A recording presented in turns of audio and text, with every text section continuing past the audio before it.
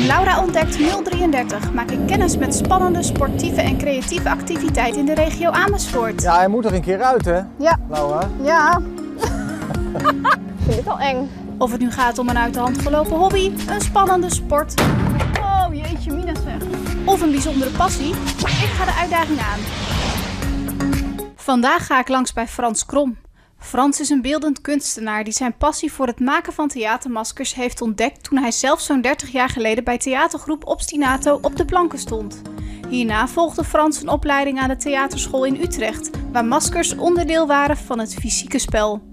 Sindsdien zijn theater en maskers onlosmakelijk met elkaar verbonden en creëert deze maskerspecialist zijn expressieve maskers in zijn atelier op de Zuidsingel in de binnenstad van Amersfoort. Je gezichtsuitdrukkingen zijn heel belangrijk wanneer je je gevoel uit. Bij uitstek op het toneel, daar is mimiek natuurlijk heel belangrijk. Maar waarom maakt Frans dan nou juist theatermaskers? Daar hoop ik vandaag antwoord op te krijgen. Hoi, Goedemorgen, Laura. Frans. Hallo.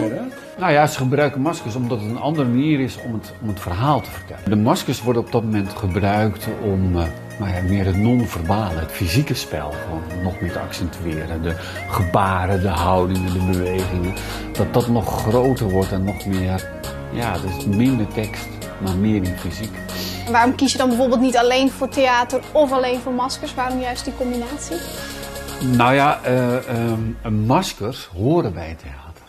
Dus dat is gewoon een, een, een, een vast gegeven. Kijk, je, in de beeldende kunst wordt ook wel gezegd dat een, eh, een beeldende kunstenaar bijvoorbeeld eh, ja, maskers maakt.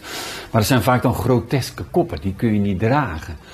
Ehm, de maskers die ik maak, hoe grotesk of hoe vreemd ze ook zijn, maar ze moeten altijd gedragen kunnen worden. Dus ze moet mee gespeeld kunnen worden. Ik bedenk ze allemaal zelf. Dus, dus elk masker is daardoor ook al uniek. En jij gaat mij dus eh, nu een kijkje geven in jouw leven, hoe het is om een masker te maken. Ja, ja. Eh, maar waar beginnen we eigenlijk? Eh, we beginnen aan tafel. In een masker zit alles al opgesloten. Dus ehm, hoe die beweegt, hoe die praat, wat zijn karakter is, zijn leeftijd. Alles zit al in het masker. En de speler die moet dat vervolgens weer eh, tot leven brengen. Elk masker hier is een persoon. Als je het dan hebt over de, de uitdrukking van zet je masker dan eens af, wat, wat vind je daarvan dan? En dan moet ik altijd gewoon wel een beetje lachen. Want als je eigenlijk al je maskers afzet, dan ben je niemand meer. Aan de hand van een interview gaat Frans het masker dat in mijn hoofd verborgen zit tot leven brengen. Wat is het karakter? Is het een man of een vrouw? Maar wat voor beroep zou je kunnen? Wat voor leeftijd? Eh, zijn de bewegingen dan eh, vloeiend? Weet je, we praten zo. Of is het juist echt... Het resultaat? Een lieve vriendelijke troll. Maar nu op naar het echte werk. En in het klei, dat is, daar ga je zoeken. Daar ga je het masker ontwerpen. De stand van de wenkbrauw, de grootte van de neus. Dat is je materiaal waarmee je dus jouw troll of jouw menstroll kan, kan vormgeven. Het gaat steeds om dat je die lijnen pakt, weet je. En dan bijvoorbeeld hier ook, eh, kun je hier ook nog inpakken en dan een mond erin en dan loopt hier. Nou, zo, zo moet je een beetje gaan spelen. Nou, dat mag jij gaan doen. Ja, dat vind ik wel lastig hoor, want eh, waar begin je? Ja, waar begin je? Nou, Maar inderdaad, eh, ik vind van die ruige wenkbrauwen, dat mag die zeker hebben. Eh, en hoe maak je mond? Hij, moet, hij heeft natuurlijk lippen nodig en dat mogen wel dikke lippen zijn. Oké, ja, mag best overdreven zijn, hè? Ja. Dat is natuurlijk ook wat, wat een masker een masker maakt. Hè? Wat is nou het gekste wat je bent tegengekomen? Nou, dat was wel het, een eetbaar masker. Een eetbaar masker. Ja, dat moest op, hij moest opgegeten kunnen worden. Uit de katholieke kerk hebben ze die hosties. Dat is een soort Ja. iets. Ja. Eh, ben ik naar eh, recepten aan het zoeken geweest. Van, van eh, nou ja, of daar, en of dat ook gewoon dan ook in een masker te vormen was. Ja.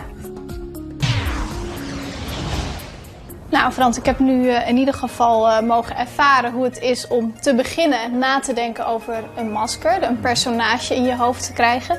En dat dus gedeeltelijk al in deze mal uitgewerkt.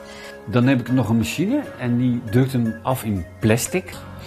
En ik hou helemaal niet van plastic, maar eh, het kan wel heel snel, waardoor ik hem op toneel kan uitproberen. Kijk, hoe gaat hij?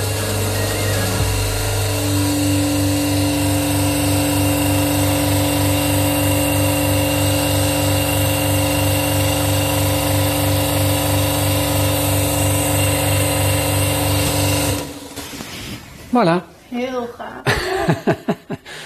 het is hem wel, hè? Het is wel een leuke Ja.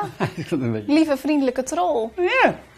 Nou Frans, heel erg bedankt voor deze leuke, interessante, creatieve ervaring. Ja. Eh, kan nou eigenlijk iedereen dit zomaar doen en ervaren? Ja, uiteindelijk kan iedereen eh, dit gewoon natuurlijk wel ervaren. Dat is de, eh, wat ik ook voor een groot deel ook doe. Er zijn natuurlijk ook workshops. Hoe, speel je nou met het masker? Hoe komt een masker nou tot leven? Maar ook, nou ja, wat jij nu net in het kort gedaan hebt, ook wat uitgebreid. Wat je echt even helemaal dat leren het masker maakt. Maar ook natuurlijk het maken van voorstellingen. En wat natuurlijk ook altijd wel heel... eh, het is natuurlijk een object voor een kunstobject. Dus mensen die het ook gewoon mooi vinden of zo. Ja, je kunt het ook aan de muur hangen. Je kunt het ook gewoon in een etalage of wat dan ook. Dus ja, kijk op de website. Dan, eh, dan zie je, gaat er een wereld van je open. Volgende week in Laura ontdekte 033. Hoe gaat het dan precies? Want er zit geen motor in het Nee, er vliegtuig. zit geen motor in. En hoe werkt het dan? Ehm, nou, wat de bedoeling is, is wij proberen altijd met dan thermiek. Dat is warme lucht die opstijgt. En dat komt doordat de zon de aarde verwarmt. Dan heb je warme lucht die opstijgt. En die gebruiken wij om ook mee omhoog te gaan. En dan zijn er een aantal trucjes waardoor we dat kunnen herkennen.